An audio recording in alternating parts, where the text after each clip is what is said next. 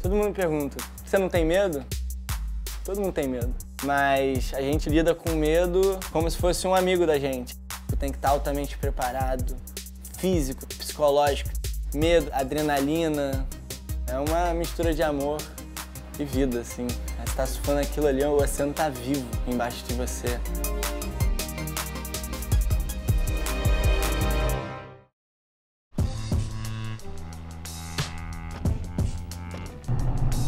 Cara, o surf de ondas gigantes junta um grupo de malucos que amam surfar e amam surfar as maiores ondas do mundo, que também são altamente preparados para isso. É muito extremo, você está lidando com situações extremas, com ondas gigantes, com um mar turbulento, com ondas vindo de todos os lados, com vento. Isso tudo só vai deixando mais difícil e mais perigoso. Nisso aí leva que o medo aumenta. Porque o meu esporte é uma junção de tudo, assim, é meio que você não pode entrar em pânico. Se você entrar em pânico, você morre.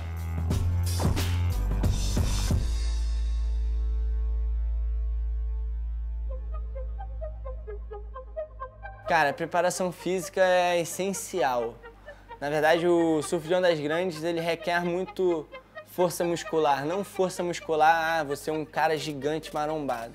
Não, não vai ser. Você tem que estar muito forte, muito rígido, com seus músculos meio que quase blindados, vamos falar assim. Porque na hora daquela pressão, daquele soco que você toma da onda, cara, você tem que estar muito forte, muito pronto para aquilo acontecer.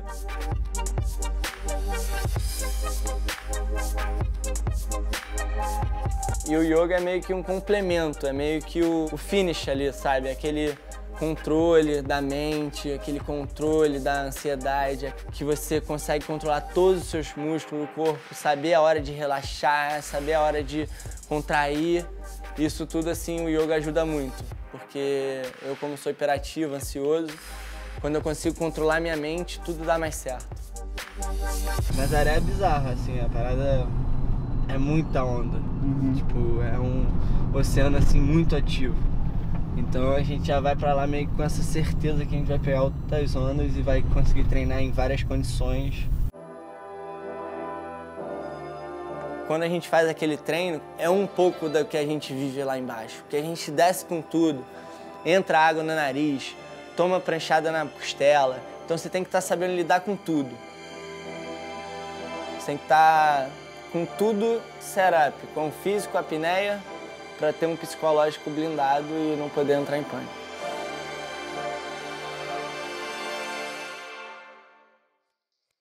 Cara, minha conexão com o Burley entrou, começou há muito tempo atrás, no México. E sempre que eu tô com ele, eu me sinto muito seguro, muito confortável. O que me acontecer, ele vai estar tá ali para me salvar. Eu vejo que o Lucas chega numa fase onde eu tô mais maduro, tô mais preparado e ele vem com outros desafios e a fim de evoluir também. É difícil, muito mais difícil do que pegar Nazaré gigante e fazer a performance que ele faz, mas é um caminho que deve ser trilhado por todos nós.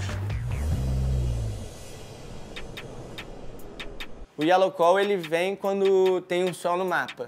A gente avistou um swell no mapa. Cinco dias antes desse swell, eles dão o Yellow Call. Olha aqui, toda hora tem um swell na Irlanda, toda hora. Deram o Yellow Call, a gente já começa a organizar tudo, ver onde você tá, ver com quem, com prancha que você tá, com equipamento que você tá.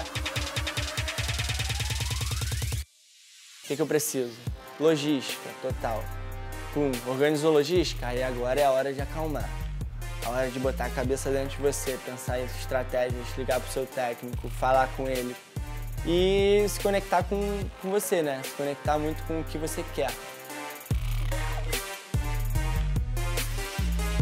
Quando dá o green call é quando confirma todos os números do swell, quando tá o swell sólido indo pro lugar certinho no mapa.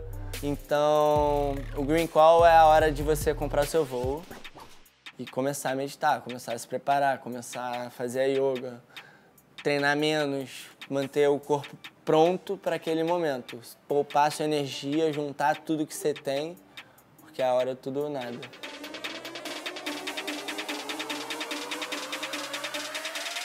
Cara, quando chega na hora H, é a hora que o coração bate muito forte e que você sabe que tudo que você treinou vai entrar naquele momento.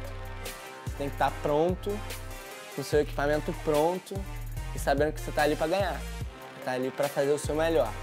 Com certeza ali, quando a gente chega na praia, olha aquele oceano gigante, do jeito que esteja, com vento, sem vento, ruim, bom, a gente sabe que a gente tem que ir a guerra.